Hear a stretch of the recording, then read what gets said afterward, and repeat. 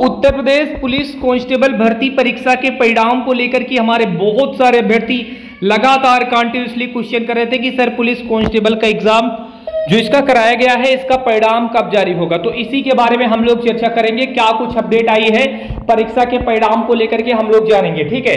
आप सभी से निवेदन करेंगे कि जितने भी अभ्यर्थी चैनल के साथ नए जुड़े हैं तो प्लीज़ चैनल को सब्सक्राइब करके बेल आइकन दबा देना। देखिए, क्या कुछ खबर आई है? सबसे पहले इसको देख लेते हैं। मुख्यमंत्री योगी आदित्यनाथ ने निर्देश दिए हैं कि सिपाही भर्ती परीक्षा का परिणाम अक्टूबर के अंत तक जारी करे।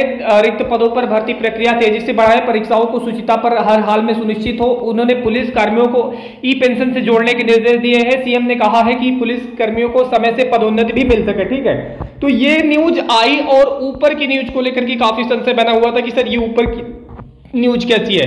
तो ये ऊपर की न्यूज़ एडिटेड है और ये जो नीचे की न्यूज़ है पुरानी मुख्यमंत्री योगी आदित्यनाथ ने कहा है कि आप लोग का एग्ज़ाम का जो रिज़ल्ट है, अक्टूबर लास्ट तक जारी होगा, ठीक है? तो मोस्ट प्रॉब्ली संभावना है कि 20 से 25 के अक्टूबर के बीच में आप लोग का परिणाम जारी हो जाएगा। बाकी कोई भी अपडेट होगी, तुरंत ही आपको अपनी चैनल के माध्यम सूचित करेंगे। चैनल को सब्सक्राइब कर अच्छे